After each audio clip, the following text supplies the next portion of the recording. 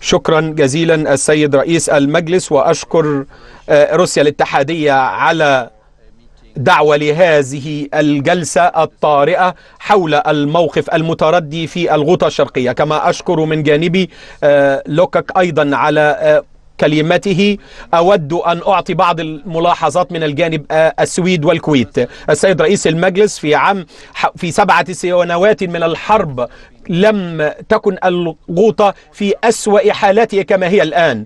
ونحن يذكرنا ذلك بالحقيقة ما يعانيه الشعب السوري في الغوطة الشرقية والمسؤولية التي تقع على عاتق هذا المجلس. بالأمس قرر الأمين العام لمجلس الأمن قال هنا أن هناك 400 ألف يعيشون في جحيم على الأرض.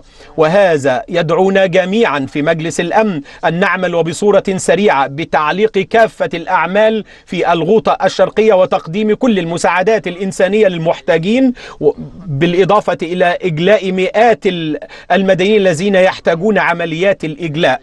وخلق احتمالية لحياة المدنيين والحفاظ على حياتهم. أود أن أنتهز هذه الفرصة لأذكر الجميع الأطراف بأن هناك التزام طبقا للقانون الدولي والمجتمع الدولي من أجل حماية المستشفيات وأماكن الإغاثة وكل المباني التي تقدم الخدمات الأساسية.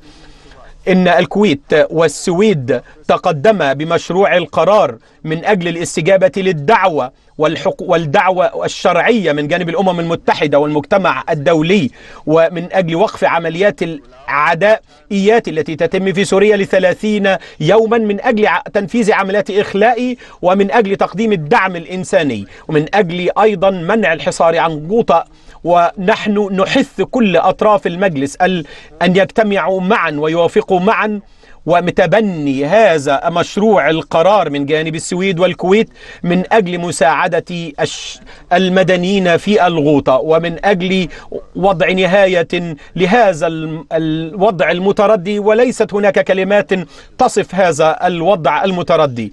نحن نواقف إلى خفض عمليات التصعيد وتنفيذ مشروع هذا القرار. ندعو أيضا كل الضامنين إيران وتركيا وكل الع... وروسيا في الأستانة وفي كازاخستان أيضا من أجل دعم هذه الجهود معنا من أجل التصويت على مشروع هذا القرار السيد رئيس المجلس استجابة لزملائي وفيما يتعلق بمشروع القرار فإن الفرق الإنقاذ والإخلاء والمساعدات الإنسانية تتطلب عمليات تأمين إن مشروع القرار الذي نتقدم به اليوم هو ليست معاهدة سلام شاملة ولكننا نهدف من خلاله وما نحتاجه إلى تقديم هذا الدعم الإنساني خلال ثلاثين يوما.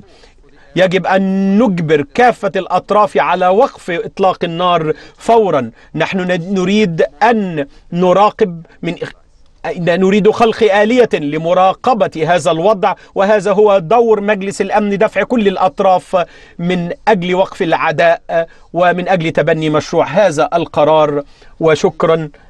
زملائي في هذا المجلس أعتقد أننا نستطيع أن نحدث فارقا.